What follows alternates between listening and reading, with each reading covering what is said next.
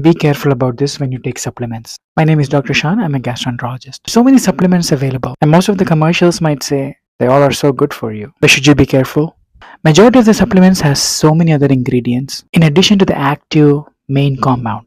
Those are the usual culprits which can sometimes cause adverse reactions. That being said, not everybody who takes supplements might get adverse reactions, but some of us, due to differences in our physiology, can sometimes get very bad reactions to certain ingredients and supplements. Unfortunately, when these happen, they're so severe, can sometimes even be life threatening. For example, kidney injuries, allergic reactions. Me as a gastroenterologist, my biggest nightmare drug induced liver injury. Drug induced liver injury is kind of like a severe allergic reaction happening in the liver, and this is unpredictable. You cannot predict who is susceptible to this, more prone for this. This can present sometimes just as mild elevation of liver enzymes, but in severe cases, even liver failure, occurring transplant. If you're taking any supplement, if you notice any sort of discomfort anywhere in your body, you should immediately see your doctor.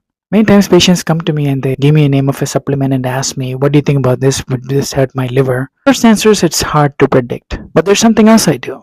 I look through all the ingredients in the supplements and I check a database called LiverTox. I enter the ingredients and see if there has been reported cases of liver injury from those ingredients. There's something you can do as well. I actually encourage you all to do that. It's one extra step, but it could save your liver. Thank you so much for watching.